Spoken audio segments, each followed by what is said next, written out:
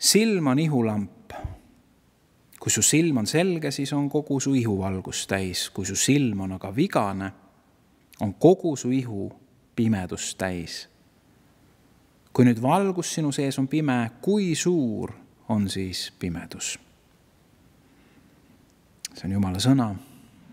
amen. kes on mind veidi rohkem kuulnud, see on tõenäoliselt kuulnud ka minu suust seda, et mulle ei meeldi poodides käia.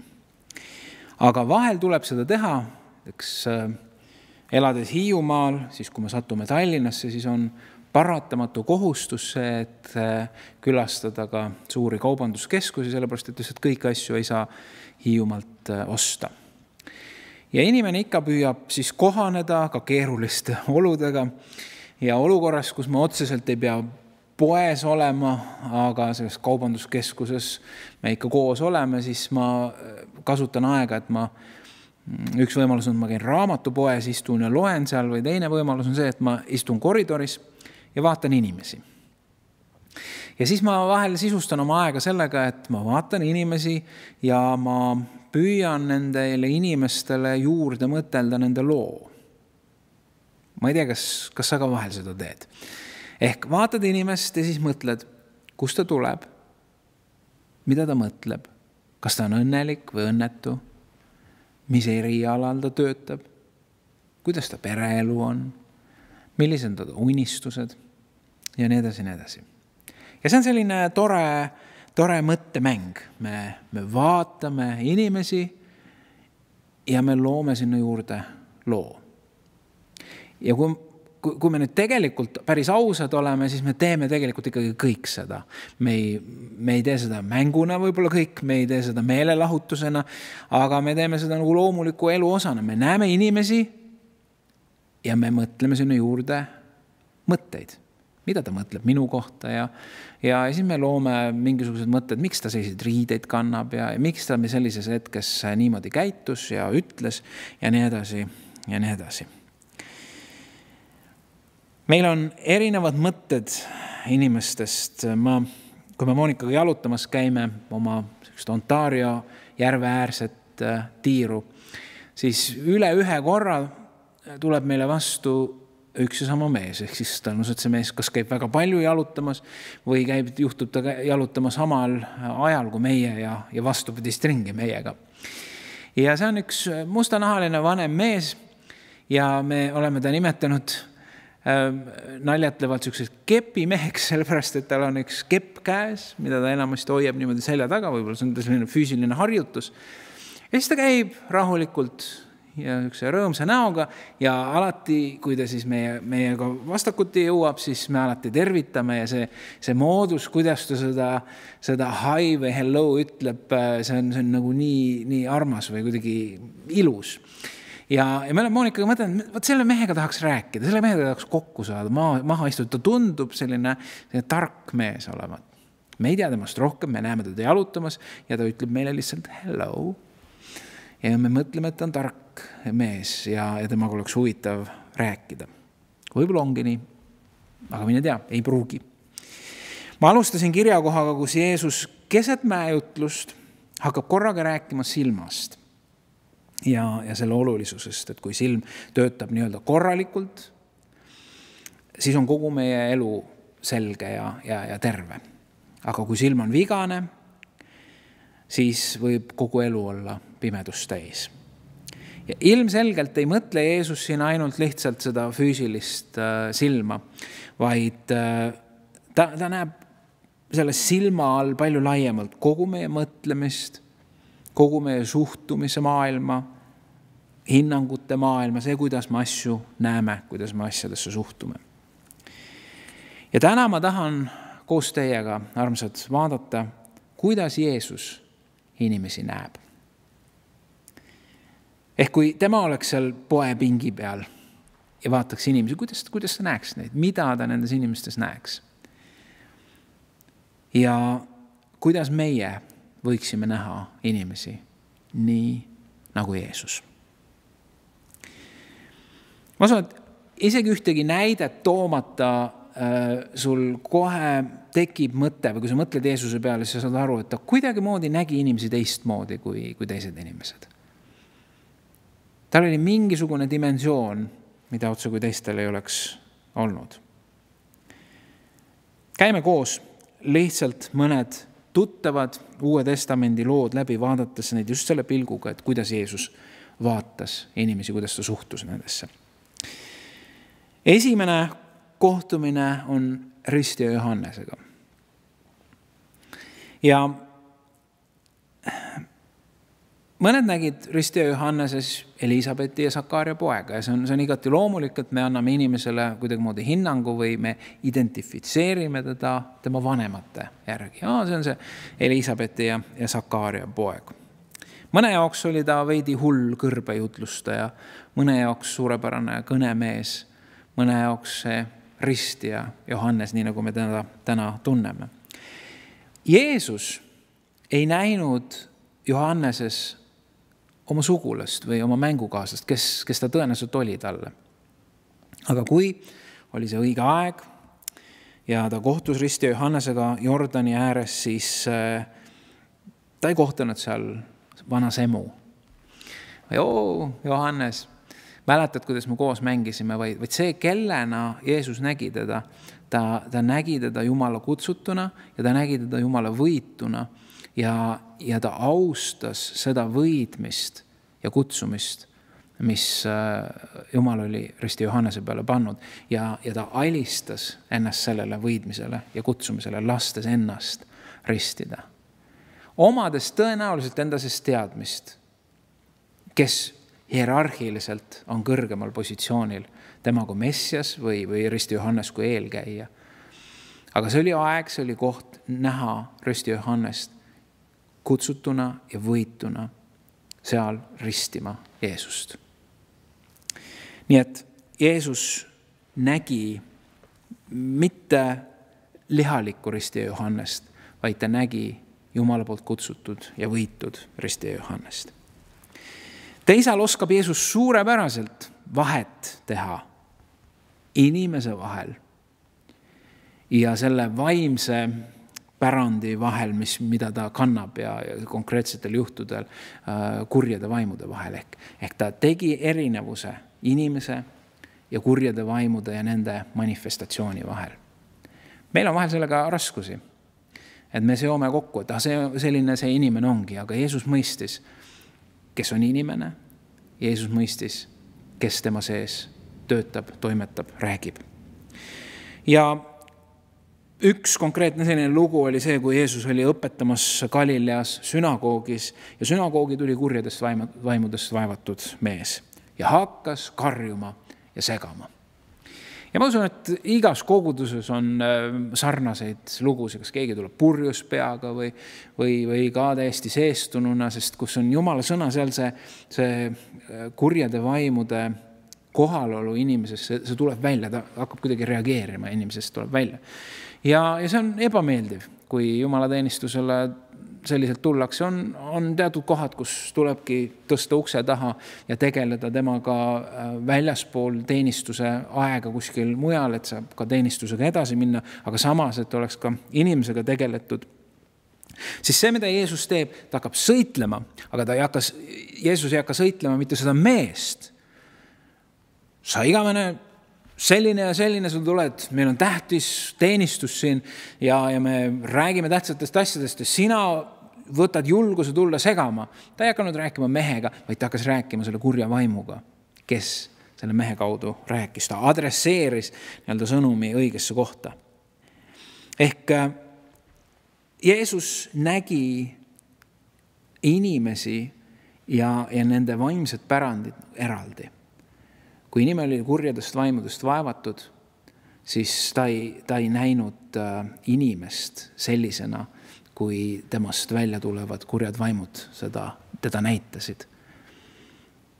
ta nägi inimest Jumala looduna, ta nägi inimest Jumala poolt armastatuna, aga lihtsalt teda olid vallutanud kurjuse väed ja seega oli see, mida Jeesus tegi alati selliste inimestega, oli see, ta suhtles kurjade vaimudega ja käskis nendel välja minna. selleks, et inimene võiks olla vaba. Nii et Jeesus ütles, jää vait ja mine temast välja ja kuri vaim põgenes mehest ja, ja, ja viskas ta pikali maha. ja on öeldud, et hirm tuli kõige peale, kõigi peale järgmine kohtumine on Siimon Peetrus. Siimon Peetruse juures me peatume ühe korra hiljem veel, aga, aga siin konkreetselt see, kui nad esimest korda kohtuvad, Jeesus kohtub Siimonaga, kalamehega. tahumatu, mitte tõenäoliselt kõige kõrgemalt haritud Peetrusega või Siimonaga. ja nad ei pea palju koos olema, kui Jeesus ütleb, et su nimi ei ole Siimon, su nimi on Kehvas, su nimi on Peetrus, mis tähendab kaljut Jeesus näeb inimesi mitte sellena, kes nad on sellel hetkel. Võib-olla väga, väga erinevates olukordades oma mingisuguste probleemidega maadlemas, mingi sidumistega maadlemas, mingite emotsionaalsete probleemidega, majanduslike probleemidega, suhteprobleemidega, erinevad probleemid, mis meil olla võib. Jeesus ei näe meid sellena.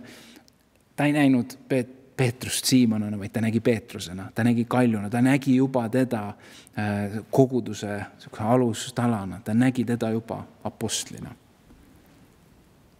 Ta nägi juba Pe Peetruses või, või siis Siimonas sellel hetkel tugevust ja võimekust ja, ja olulisust ka algkiriku jaoks ja, ja ta nimetas äh, Siimona Peetruseks, ta andis talle uue identiteedi. Jeesus kohtus ka Leinaga Naini linna noormees, Laatsarus, Jairuse tütar. kõik olid jõudnud punkti, kust ei ole tagasiteed, kust ei ole lootust, nad olid surnud. Jairuse tütre juures laulsid nutunaised. Naini linna noormeest kanti juba hauda. Laatsarus oli seal juba neli päeva olnud. ja kui kõik nende inimeste ümber täiesti loomulikult nägid surma ja, ja paratamatust. Ja, ja selles osas ei saa me kuidagi ette, ette heita, sest see surm oli selle olukorra osa. kui kõik nägid, et Jairuse tütar on surnud, siis kui Jeesus kohale läks, ta ütles, et see tüdruk magab. ja nutunaised ja kõik, kes seal olid ümberringi, nad naersid ja ilmselgelt on, on, oleks nagu põhjust ütelda, inimene on surnud inimene ei hinga enam, tal ei ole pulssi. Jeesus tuleb, ütleb, et ta on, ta magab. aga see põhjus on lihtsalt see, et, et kui meie näeme seda füüsilist reaalsust ja seda, me peame sellega arvestama ja aktsepteerima seda ka, siis Jeesus nägi Jumala südames seda, nägi, et Jumala südames oli see tüdruk üles äratada. Jeesus, Jumala südames oli äh, see, see ime juba valmis pandud ja et, et anda tagasi see tüdruk oma, oma vanematele. Jeesus nägi seda, ütles, et see on suurem reaalsus kui see, mida teie näete. Ja ta võttis tüdrukul käest kinni ja tõstis üles. samamoodi ta nägi Jumala südant anda see Naini linna noormees tagasi oma emale, kes, lesest emale, kes oli kaotanud oma kalli poja, aga lisaks veel ainsa sissetuleku. sotsiaalne kindlustatus puudus, halastus mida Jeesus nägi Jumala südames ja, ja, ja ta äratus üles selle noormehe. Ja kui, kui nad Laatsaruse juurde jõudsid, siis taas Jumal, Jeesus nägi kogu seda leina ja, ja, ja ta nuttis ise, Laatsarus oli hea sõber. ja ta nägi midagi selles olukorras, et see ei pea niimoodi jääma ja Jumal võib ta üles äratada, isegi kui ta on neli päeva hauas olnud ja, ja, ja nii ta ka kutsus Laatsaruse välja. nii et Jeesus nägi alati üle või kaugemale nendest olukordadest, kus meil on nagu horisont piiriks. Jeesus nägi kaugemale. Jeesus ei äratanud kõiki surnuid üles. ja Jeesus ei teinud ka kõiki haigeid enda ümber äh, terveks, aga need on olukorrad, kus ta demonstreerib või ka näitab et, äh, et ta näeb midagi rohkemat, kui see füüsiline reaalsus meile ette söödab. järgmine olukord on päris delikaatne. Ta on kutsutud, tunnustatud variseri poolt, vaimulikud juhid, tippklass ühiskonnas, on kutsutud äh, õhtusöögile ja see on päris suur tunnustus ja, ja see põhjus oli muidugi see, et eks nad tahtsid uurida natuke, et kes see ime Jeesus ikkagi on ja, ja uurida ja puurida, võib-olla saab kuskilt tema sõnadest teda vahele võtta ja, ja variseridel olid omad plaanid Jeesusega. Jeesus läks sinna ja, ja korraga ilmub sinna patune naine, tõenäoliselt prostituut. ja ma ei tea, seda ei ole piiblis küll kirjutatud, aga mine tea, võib-olla see oli provokatsioon ka variseride poolt, aga võib-olla ka mitte. igal juhul see patune naine tuleb Jeesuse juurde ja midagi Jeesuses puudutab seda naist selliselt, et ta nutab, langeb nuttes Jeesuse ette maha, peseb oma pisaratega Jeesuse jalgu ja kuivatab oma juustega. päris delikaatne olukord, kuidas sellises olukorras käituda. ja teades, et tema elukombed on just täpselt sellised, nagu on olnud ja variserid said sellest oma kinnituse.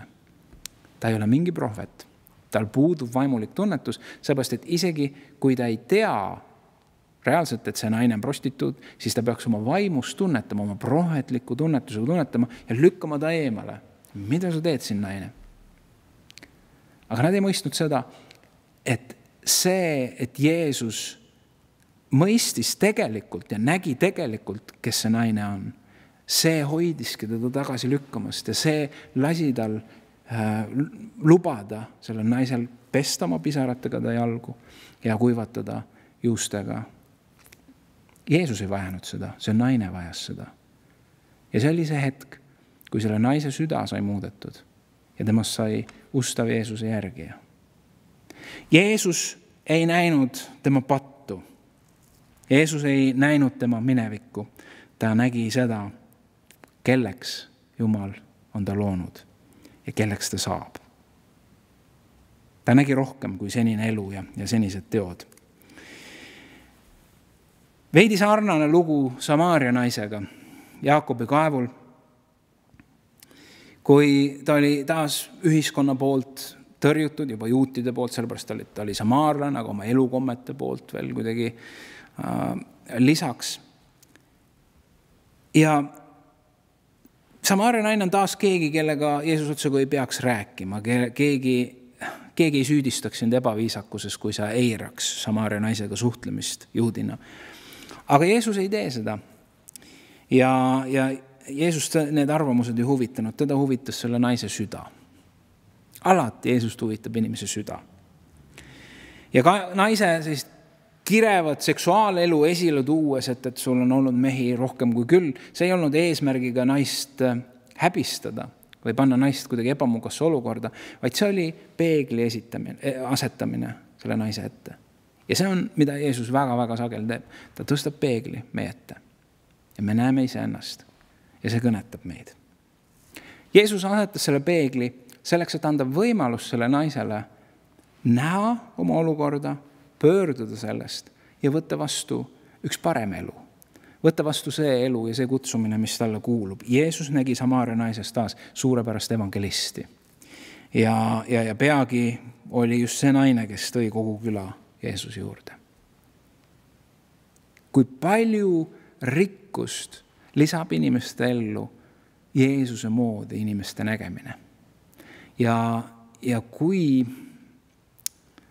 kui palju me, kui paljust me ilma jääme ja kui paljust me jätame inimesed enda ümber ilma, kui me lähtume ainult sellest, mida me oma füüsilise silmaga näeme või mida me oma, ma ei tea, kuulujuttudest oleme kuulnud inimeste kohta.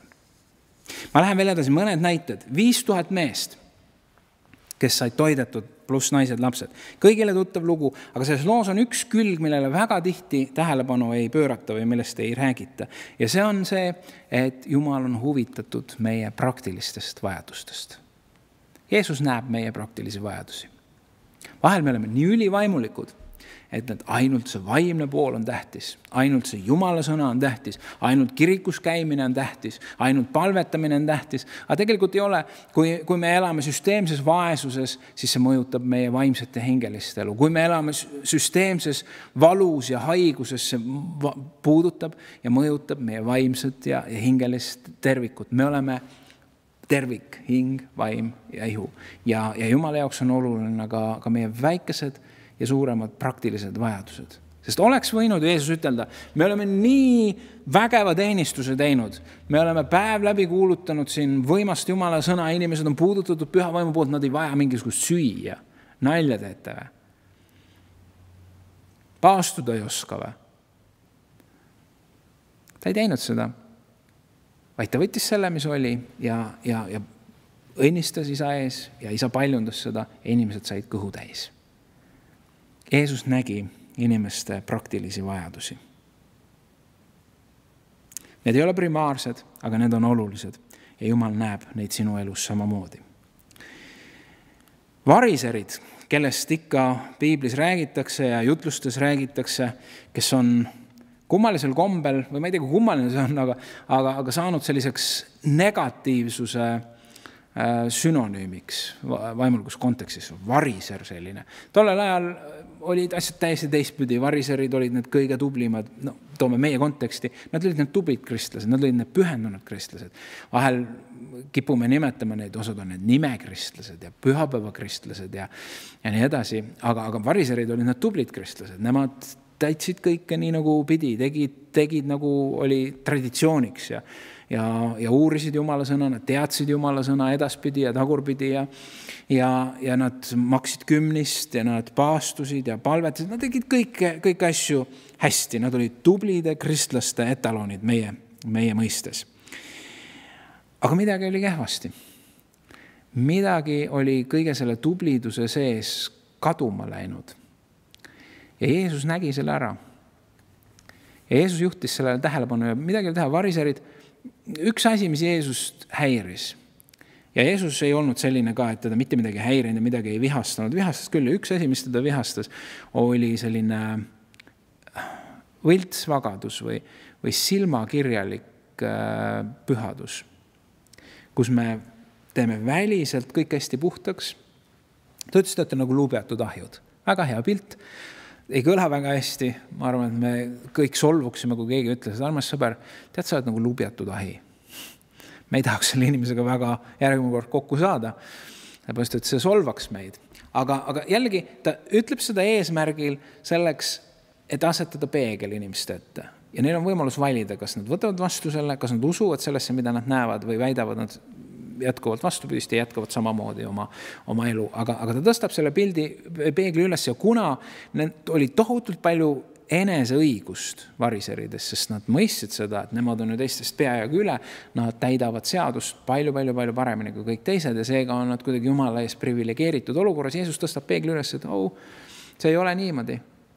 Te tegelikult see, mida te räägite, te ei pea ise ka sellest kinni, te olete seest mustad, te süda on must Te süda on täis vihkamist, te süda on täis halvakspanu, te süda on täis ülevalt alla vaatamist ja, ja, ja te olete lihtsalt oma fassaadi lubjaga valgeks teinud ja, ja arvate, et kõik on hästi, aga ei ole hästi. isegi see, kui ta tegi seda nagu sisemise vihastuse, ta tegi seda armastuse pärast, andes inimestele võimaluse pöörduda, andes inimestele võimaluse aktsepteerida seda, et vau, tõesti, me oleme sellised. nii et Jeesus ei, ei, ei kartnud tõsta inimeste ette äh, peegleid. ja, ja Jeesus, Jeesus oli häiritud ja ta reageeris alati negatiivselt ainult eneseõigust täis olevale silmakirjalikkusele. üks veidi küsimusi tekitav ja võib-olla mõne jaoks isegi ebameeldiv lugu on ka rikka mehe lugu. sest kui me paneme selle rikka mehe loo jällegi koguduslikku või kristlikku konteksti, siis äh, inimene tuleb pastori juurde. kohalikus kogukonnas tunnustatud mees, rikas mees, suur ärimees. tuleb pastori juurde ja ütleb, et tead, ma olen mõtelnud nende usuasjade peale ja, ja ma tahaks päästetud saada, ma tahaks koguduse liikmeks saada. jess, pastoril käib peast läbi kohe uus liige, tänu jumalale, inimene saab päästetud tänu jumalale. katus saab parandatud, ikkagi rikas mees tuleb kogudusse no võib-olla kõigil pastoritel ei tule neid mõtteid pähe niimoodi. ja, ja teeme kähku selle palve ära ja, ja äkki mõtleb veel ringi, ristime kohe järgmisel päeval ära ka, et siis oleks ikka kindel, aga, aga pastor kuidagi peatub ja ütleb, et see on tänu jumalale sellest, see on, see on üks hea palve, aga mul tuleb südamesse üks asi, mida jumal on ütlemas sulle. enne kui me seda teeme, müü oma vara maha ja anna see vaestele ja räägime siis uuesti no tõenäoliselt oleks see šokk sellele ärimehele. ta lööks ukse prauhti kinni ja hüüaks veel, et ma lähen teise kogudusse. kui te nii rumalaid tingimusi seate. ja kui kõrvalt seda vaadata, siis see ei, ei tunduks väga mõistlik käitumine, aga see, miks Jeesus seda tegi, on see, miks ta ikka ja jälle selle peegli üles tõstis. me vajame aeg-ajalt näha iseendid sellisena, nagu me oleme. Ja Jeesus nägi selle mehe südamesse. ta ei ütelnud ja kuskil piiblis ei öelda, et raha oleks patt või, või, või iseenesest äh, halb. Öeldakse, et raha armastus on, on probleem. ja, ja, ja siinkohal ei ütle Jumal ja Jeesus samamoodi seda, et probleem on see, et sa oled rikas, sellepärast ma, sa, sa ei saa äh, taevasse et probleem on see, et ta süda oli selle rikkuse küljes kinni ja ta mõistis, et kui ta annab lihtsa vastuse sellele mehele, siis ta annab sellele mehele väga raske elu. lihtsad vastused annavad tihti raske elu. ja vahel on vaja anda raskeid vastusi selleks, et tuua inimeste ellu tervenemine, vahel läbi raskete kohtade, valusate kohtade, aga eesmärk on tervenemine, eesmärk on vabanemine ja, see oli eesmärk ka selle mehe jaoks ja üsna sageli, kui meie elus sellised kohad on, kui Jumal meile ka selliseid asju nagu nõuab või paneb meie ette, siis kui me oleme millestki lahti lasknud, siis mõne aja pärast need asjad tulevad meie ellu tagasi õnnistatumana ja suuremana, aga meie oleme vabad nendest. aga need on meie elus. kolm veel, Sakkeus taastölner, küla või linna vihatuim mees, vastik vaheltkasuvõtja selline südametu vaeste ahistaja ja nii edasi. aga Jeesus nägi temas kedagi, keda Jumal armastab, kes võib-olla ise pole kunagi kogenud inimlikku armastust või, või hoolimist või aktsepteerimist. me mõistame hukka inimesi ja nende käitumist, aga me ei tea nende lugu. kohtudes hoolimise, armastusega vastuvõtmisega avanes Sakkeuse süda. ja ta pöördus oma senisest elust. ja Jeesus nägi seda muudetud meest juba seal puu otsas. kui teised nägid, see vastik väike Sakkeus, Jeesus nägi, vau,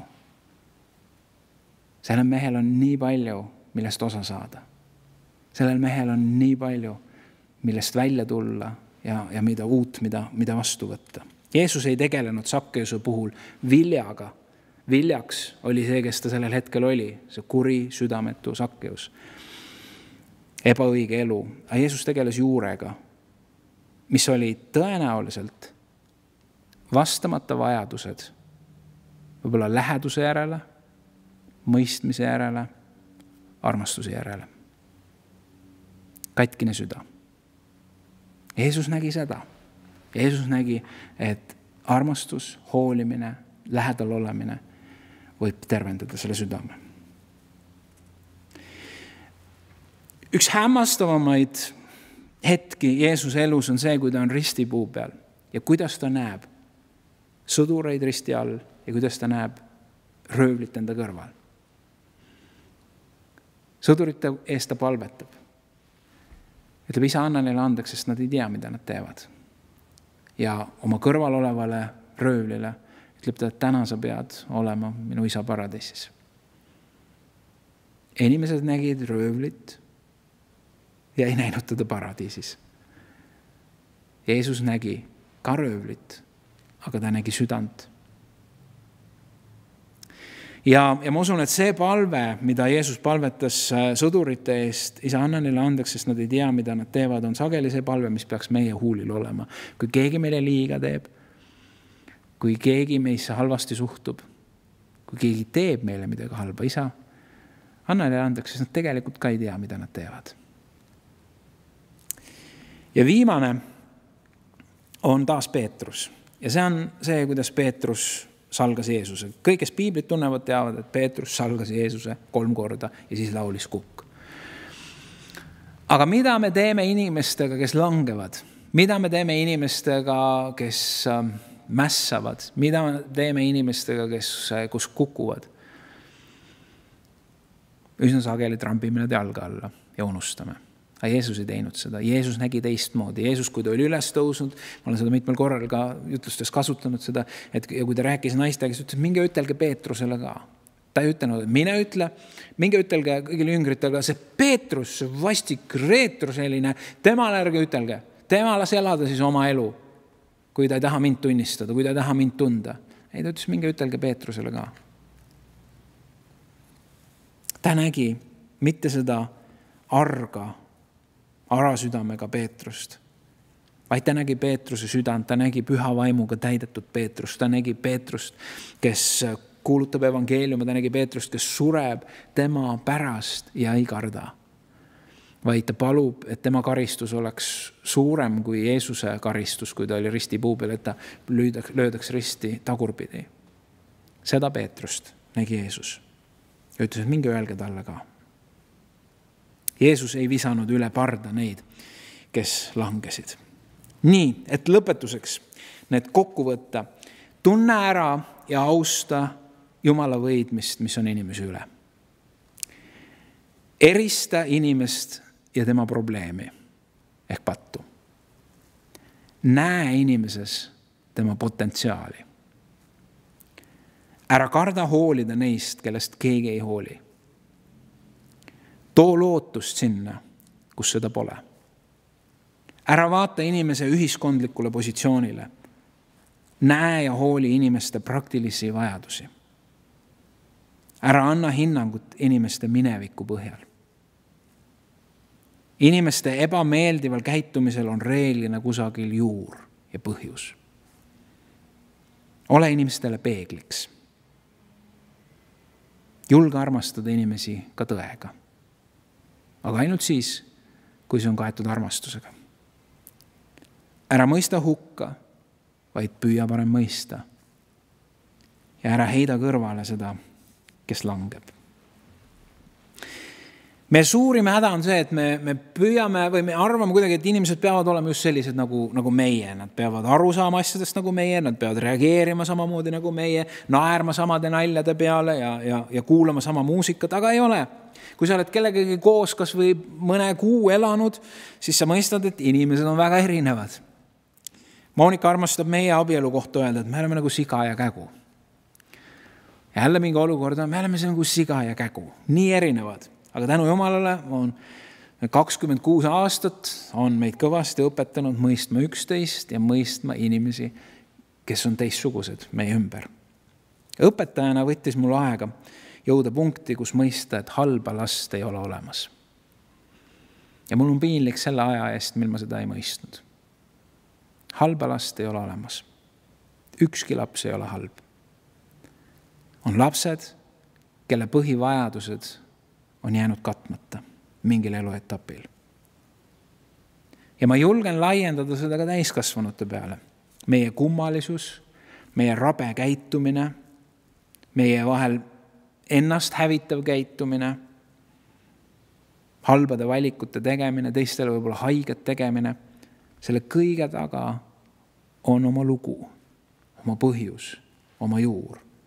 see on omamoodi püüd hakkama saada sellega, et me ei ole tegelikult rahul või me ei oska hakkama saada selle iseendaga, kes me praegusel hetkel oleme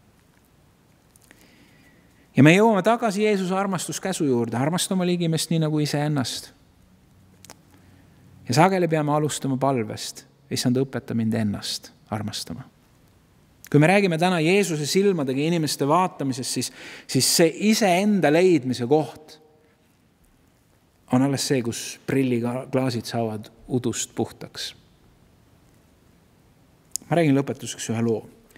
üks noor enesega rahulolev ärimees sõidab oma musta Jaguar sportautoga mööda äärelinna kitsast tänavat ja ootamatult korraga näeb ta silmanurgas lendamas enda auto poole poolikut telliskivi ja see tabab tema uhke, särava, läikiva uue auto paremat ust. ta jätab auto momentaalselt seisma, kargab autost välja, vaatab ahastuses auto ust, millel on kriimud ja mõlk. ja siis ta näeb poissi, kes tõenäoliselt on selline kiviviskaja, jookseb selle poisi juurde, haarab tal rinnust kinni ja ütleb, millega sa tegeled, mida sa teed, kas sa aru ei saa, kas sa ei kujuta ette, kui kallis see auto on, sa ei kujuta ette, kui palju läheb maksma selle auto värviparandus. mida sa teed siin? Ja poiss jõuab kogeleda ja, ja pisarad purskuvad ta silmist ja, ja ta ütleb, et, et palun, palun, palun, härra, palun kuulake, ma ei saanud muul moel tähelepanu mitte keegi ei peatunud, mitte keegi ei pannud tähele, see oli ainuke moodus, kuidas ma teid seisma sain. seal kraavis on minu vend. ta kukkus ratastoolist ja ma ei jaksa teda tagasi ratastooli tõsta. palun, härra, kas te aitaksite mind? Ja see härrasmees rahuneb, laseb poisi maha. Läheb selle kraavi kukkunud venna juurde, tõstab ta üles ja sätib ta ratastooli.